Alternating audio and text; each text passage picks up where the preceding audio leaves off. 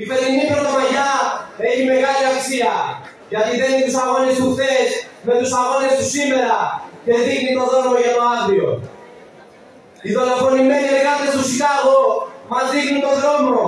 Η δικιά τους θυσία, η δική τους μάχη για το οκτάωρο, για μισθούς και συλλογικές συμβάσεις εργασίας. Επιβεβαίωση για τους εργάτες όλου του κόσμου ότι οι διεκδικήσεις ικανοποιούνται μόνο με αγώνες και μάχες. Δεν κερδίζονται με ευχολόγια, με παρακάλια και με πηγήσεις ελεξίες.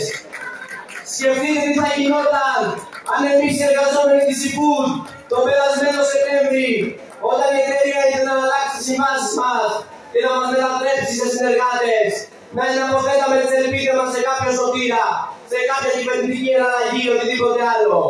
Τώρα συνάδελφοι θα ήμασταν συνεργάτες και θα δουλεύουμε με μπλοκάκι. Δεν κάναμε όμως αυτό.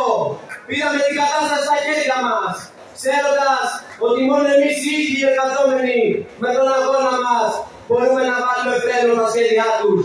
Και τα καταφέραμε. Συνάδελφοι, τα αιτήματα των εργατών του Σικάγο παραμένουν επίκαιρα και αποκτούν μεγαλύτερη σημασία. Γιατί σε μια εποχή που πληρώνουμε με το αίμα μας τα κέρδη των μεγάλων εταιριών στον κλάδο, με τους δεκάδες νεκρούς για νομή στον χρόνο, πληρώνουν με αίμα και οι αδελφοί μας εργάτες στην περιοχή της Ουκρανίας από τη σύγκρουση μεταξύ των συμφερόντων ΗΠΑ, ΝΑΤΟ και Ρωσίας. Πληρώσαμε και συνεχίζουμε να πληρώνουμε μεγάλο τίμημα με τους χαμηλούς μισθούς, με τη σκληρή φορολογία και την ακρίβεια, με ευθύνη όλων των κυβερνήσεων για να ανακάψουν τα κέρδη των επιχειρηματικών ομίλων. Δεν θα δεχτούμε να πληρώσουμε με